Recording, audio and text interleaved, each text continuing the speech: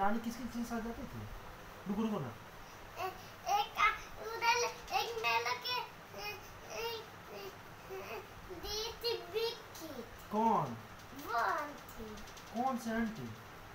जो कुत्तियाँ में रखती है कोठिया में रहती तो वो क्यों दिया आपको? खाने के लिए धूप लगा था मैं मैदान का भूख लगा तो दे दिया आपको फ्री में दे दिया कि पैसे दे के पैसे देंगे। पैसे कौन दिया था? वो आंटी। कितने रुपए का था? हाँ बेटा आपको कन्हरी में पैर दर्द करता था क्या? कहाँ दर्द करता था? इरा इरा कौन मालिश कर देता था बेटा को? मेरे बेटा को कौन मालिश कर देता था? हाँ? मम्मा और? नानी भी करते थे।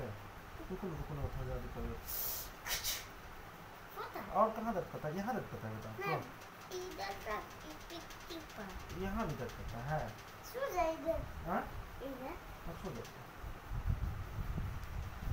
जा